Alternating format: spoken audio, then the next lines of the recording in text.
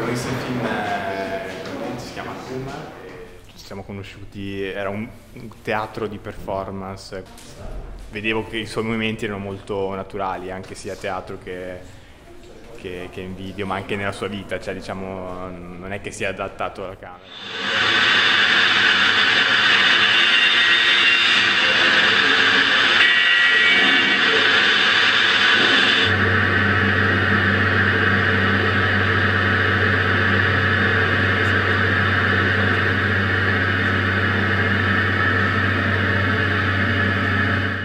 Appunto mi piaceva um, mischiare anche i suoni della natura con, con questo mondo di questo palazzo popolare. Lavoro sempre con questi suoni in ambiente, senza dialoghi quasi, e, e cercando quasi, quasi, dei luoghi dove, dove, dove so che, che suoni si mischiano tra di loro.